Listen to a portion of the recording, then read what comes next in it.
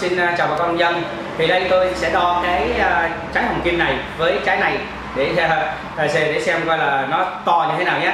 Đây là trái trồng hộp thì nó có cái nấm như thế này và trái rất là nhỏ. Đây nó nhỏ. Vàng này thì trái cây ghép cho nên đây những cái cây ghép trái rất là to. Đây bà con nhìn thấy trái xanh cũng vậy thì giờ mình thử lấy cái thước thước kẹp này là thước kẹp của dân cơ khí. Thì giờ tôi sẽ dùng cái thước kẹp này tôi đo coi nó là là, là bao nhiêu. Đây đây là con số 4 số 4 số 4 đây chỉ có khoảng tầm trái này 4 phân thôi. 4 phân này ruột rất là nhỏ như vậy thì sẽ không có người à, giờ sử dụng. Người ta sẽ ra ngoài thị trường sẽ không bán được. Đây.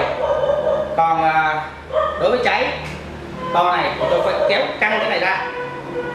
Rất là là bự. Tôi phải kéo căng nó ra như thế này. Để tôi đo.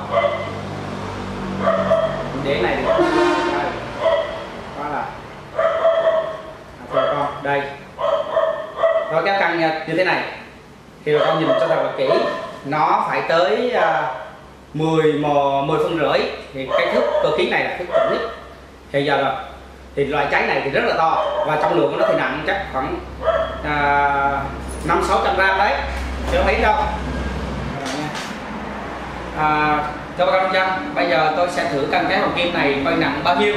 Và bây giờ tôi sẽ thử ăn nó coi nó ngon hay là nó dở nha bà con. Rồi bây giờ mình sẽ cân nhé quay đây, quay nặng bao nhiêu?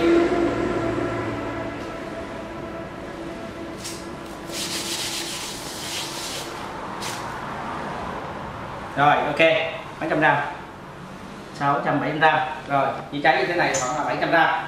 Thì bây giờ tôi sẽ thưởng thức nó.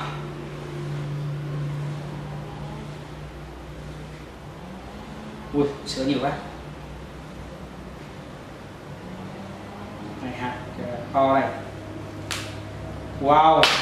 Đây thưa bà con nhìn cái trái thì ờ, rất là ngon rất là bắt mắt và cái uh, sữa của nó rất là nhiều. À, nó chỉ có hai hộp thôi. Hai hộp hai bên.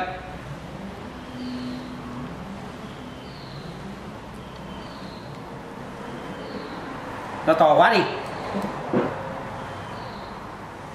To quá mà mình ăn thế này rồi. Hay. Cái này hồi chiều tôi ờ, tôi chưa, tôi mới hái trong cái này về thì khi mình bóc nó như thế này. Và bây giờ mình thử ăn nó ngon nha.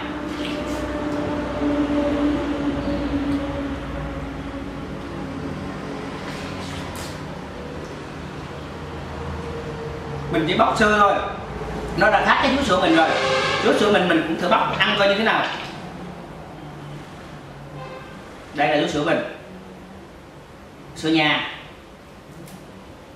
đây, cũng một trái thế này mình bóc ở đây nhiều, rất là nhiều, dính đầy tay thế này này thế này ăn rất là cực. Đây, mình bóc được có một tí xíu thôi. Đây, một bên thì rất là mỏng, một bên rất là dày. Còn một có thứ ăn rồi ừ ngọt đấy. Thằng này thì cái vị của nó ngọt thôi, mà không mát lần này. Cái này ngọt và rất là mát rất là ngon ăn hết cái này là chiều nay phải đi học không cần cơm nữa. Ngon quá. Ừ. chỉ ăn như thế này thôi là rất là no. Rồi bây giờ bà con nên ờ, phân biệt nhé. Đây là vú sữa ờ, ghép cành còn đây là cái hạt khá hoàn toàn để bà con lựa giống. Kính chúc bà con nông dân chúng ta sẽ tìm được giống tốt. Xin chào bà con nông dân.